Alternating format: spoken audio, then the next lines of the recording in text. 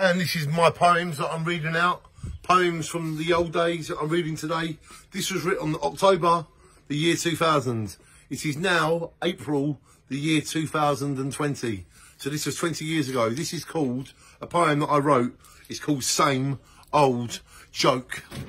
I roam from home to find a stone to lick and rest feels best. I flex the speaker to make me weaker. Throw a brick, hit with a stick, take a lick.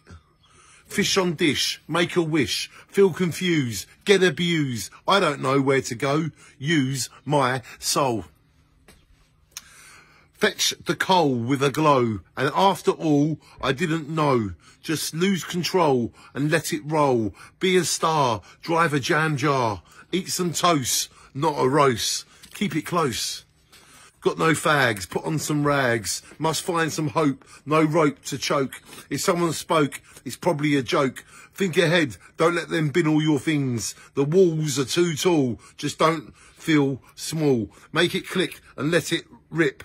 Let the pricks suck more dicks. It's us and them. Let them be them and us be us. Throw the dice, eat more rice. If you care, my hair's gone fair. Mature and be sure. I have a shower, felt like a flower. To become a tower, we must rise above. Make a choice and hear your voice. With music, you should use it to carry on. Explore with a roar. I saw the signs. It makes me kind.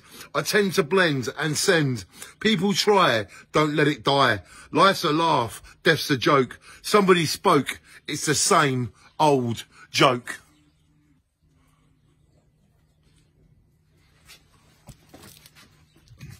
Same old joke. October year 2000 I wrote that. That's the man that read it. Same old joke.